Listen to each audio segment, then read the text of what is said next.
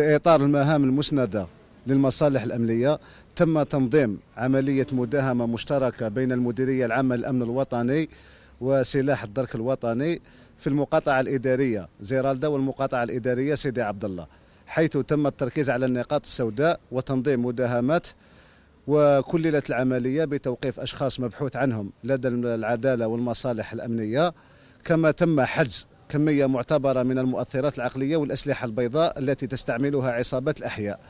فور الانتهاء من التحقيق سوف يتم تقديم المشتبه فيهم لدى الجهات القضائية المختصة. في إطار التنسيق المشترك بين قيادة الدرك الوطني والمديرية العامة للأمن الوطني تم تنظيم هذا اليوم مداهمة مشتركة مست, مست إقليم اختصاص كتيبة مست إقليم اختصاص المقاطعة الإدارية بزرالدة وكذا المقاطعة الإدارية بسيدي عبد الله. حيث تم التركيز في هذه المداهمات على جميع النقاط السوداء والبؤر الإجرام. ما كانت هذه المداهمة من حجز كمية معتبرة من المؤثرات العقلية وكذا الأسلحة البيضاء كما تم توقيف مجموعة من الأشخاص المبحوث عنهم فور الانتهاء من التحقيق سيتم تقديم جميع الأطراف أمام الجهات القضائية.